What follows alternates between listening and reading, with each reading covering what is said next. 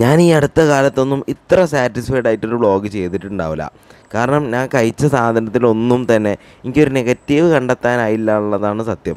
ഞാനിപ്പോൾ ഉള്ളത് കോഴിക്കോട് കോൺവെന്റ് റോഡിലുള്ള സെയിൻസ് ഹോട്ടലിലാണ് ഏകദേശം ഇരുപത്തി ഒമ്പത് വർഷമായി ഇതിവിടെ. ബാക്കി കഥ നമ്മളെ സെയിനത്ത തന്നെ പറഞ്ഞുതരും. ആദ്യം ബീച്ചിലായിരുന്നു. അവിടെ ഒരു ആറേഴ് വർഷം ഉണ്ടായിരുന്നു കസ്റ്റംസ് ഒരു ചെറിയൊരു ചായക്കട. ഞാനും എന്റെ ഭർത്താവും കൂടി മുപ്പത് ഗൾഫിലായിരുന്നു അന്നത്തെ കാലത്ത്. അപ്പോൾ അങ്ങനെ ഇരിക്കുക കുറേ കാലം കഴിഞ്ഞപ്പോൾ ഞാൻ പറയട്ടെ വർഷം വർഷം വരും. വന്നാൽ ചില സമയത്ത് പോവില്ല പിന്നെ പുതിയ വിസ എടുത്ത് കൊണ്ടുവരും. അങ്ങനെ ആയിരിക്കും പിന്നെ ഞാൻ പറഞ്ഞു ഇത് എന്തിനാണ് നിങ്ങൾ ഇങ്ങനെ പോകേണ്ട ആവശ്യം?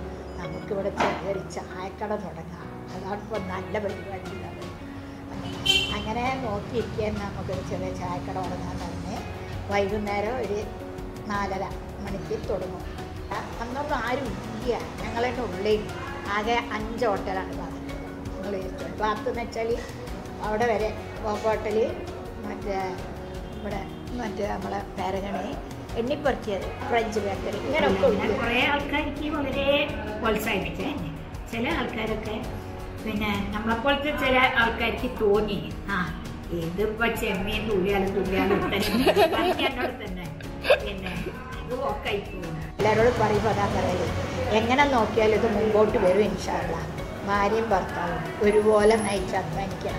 എന്നാലോ ഇന്ന് കാലത്ത് ജീവിക്കാൻ പറ്റുള്ളൂ.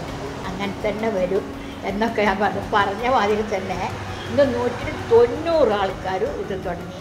എന്നാൽ മതി നിങ്ങൾക്ക്? എല്ലാവരും വന്നാൽ പറയാം ആ അതന്നെ. ഇഷ്ടം പോലെ. ശരിയല്ലേ ഈ ഒരു ലോക്ക്ഡൗൺ കൊണ്ട് നമ്മുടെ നാട്ടിൽ എത്ര ഹോം ബേക്കേഴ്സാലേ വന്നത്? അന്ന് അവർ കുറേ സ്ട്രഗിൾ ചെയ്ത് ചെയ്ത കാര്യങ്ങൾ ഇപ്പം ആളുകൾ എന്ത് ഈസി ആയിട്ടല്ലേ ചെയ്യുന്നത്? പക്ഷേ സെയിൻസ് ഇപ്പോഴും ഡിഫറെന്റ് ആണ്. ഇത്രയും ടേസ്റ്റ് ഉള്ള അല്ലെങ്കിൽ ഇത്രയും വെറൈറ്റീസ് ഓഫ് സ്നാക്സ് ഞാൻ വേറെ എവിടെയും കണ്ടിട്ടില്ല. ചിക്കൻ കുട്ടി പിന്നെ കുട്ടിപ്പെട്ടി അതും ചിക്കനാണ് ഉള്ളിൽ ആ, പിന്നെ ബീഫ് മിഠായി. മധുരവും എരിവും കൂടാണ്. അപ്പം നല്ലൊരു മിഠായിന്റെ ഷേപ്പാക്കിയിട്ട് അങ്ങനെ.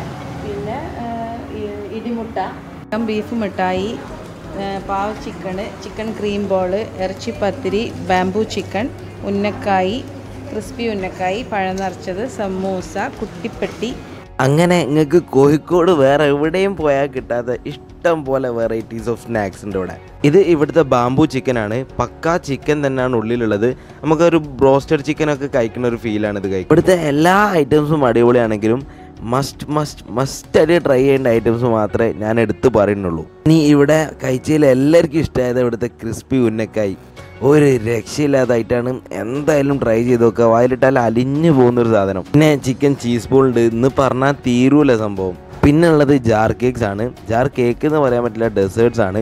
അതിൽ സീതാഫൽ കസ്റ്റാർഡ് എന്നൊക്കെ പറഞ്ഞിട്ട് രണ്ട് മൂന്ന് സാധനങ്ങളുണ്ട്. ഇറ്റ അമ്മോ. കോഴിക്കോട്ടുകാർക്ക് ഇവരെ കുറിച്ചുള്ള മെയിൻ കംപ്ലൈന്റ് പറയുന്നത് വൻ കത്തി റേറ്റ് ആണെന്നാണ്.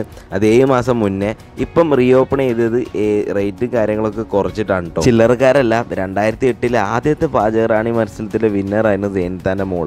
അത് ഭയങ്കര രസമുള്ള സംഭവം തന്നെയായിരുന്നു. ഫസ്റ്റ് പാചകറാണിയായിരുന്നു ആറുമാസം പോയിട്ടുണ്ട് ട്രിവാൻഡ്രത്ത്. ഡാഡിയാണ് എന്റെ കൂടെ വരിക ഡ്രൈവറും നമ്മൾ ഫാനൊക്കെ ആയിട്ട് പെറുക്കി എല്ലാം പോകും എന്നിട്ട് ഓരോ ഇതും കഴിഞ്ഞ് വന്ന് അവസാനം എറണാകുളത്ത് ആണ് വെച്ചിട്ടാണ് പൈസ ഭയങ്കര സന്തോഷം തന്നെ.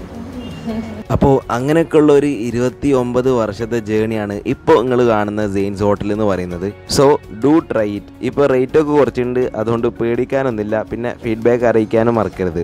പിന്നെ ക്രിസ്പി ഉന്നക്കായന്റെ കാര്യം മറക്കേ ചെയ്യരുത്.